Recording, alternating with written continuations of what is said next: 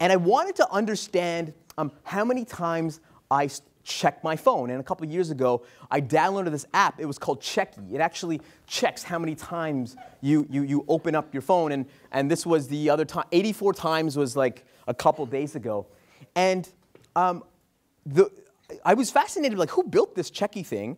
Um, because on the bottom, there's this thing called Learn Mindfulness from Calm, calm.com. And I actually signed up for calm.com because of this Checky thing. And what I learned was that Checky is, was part of Calm's experimentation engine. Um, this was like a one day marketing hackathon where you would come up with viral ideas on how to sell Calm.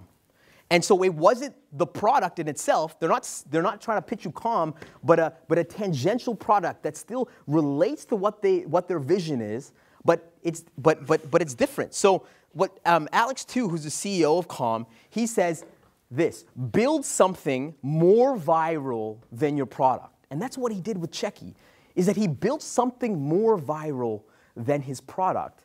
And what this allows you to do is still understand your customer needs and behaviors a lot more. It gives you another medium to tell better stories. And it allows you to actually be bold and crazy and experiment. And in this world, that is what truly matters. That's why we, are having this hackathon. Um, I think Seth Godin says either you're going to tell stories that spread or you will become irrelevant.